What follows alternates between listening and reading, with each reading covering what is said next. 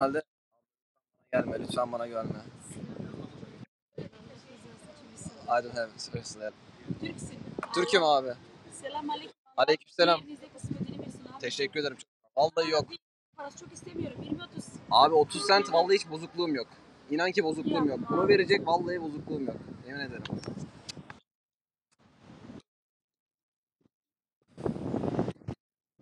Evet arkadaşlar gördüğünüz gibi her yerdeyiz yine amına koyayım.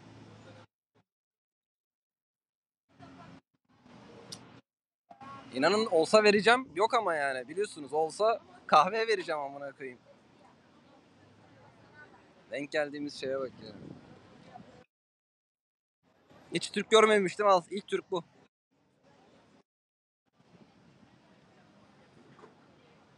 Abi mi dedim? Ha, fark ettim. Ne dediğimi de bilmiyorum ki amına koyayım panikledim. Şunu bir şarja takmam lazım. Şarjım azalıyor.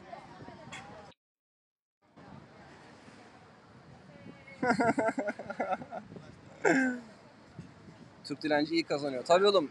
Günde şöyle bir herkesten birer euro, ikişer euro toplasa en az günlük 100 eurosu var yani onun. 30 günde 3000 euro. Asgari ücretten çok kazanıyordur. Orada dilenciler her yerde çok kazanıyor ya. Yani sadece Türkiye'de değil, dünyanın her yerinde bayağı kazanıyorlar. Var sizin de böyle bir aklınızda ülkeden sıkı, sıkılmıştık falan. Hani başka ülkeye gidip ne yapacağım diye düşünmeyin hiç. Gelip böyle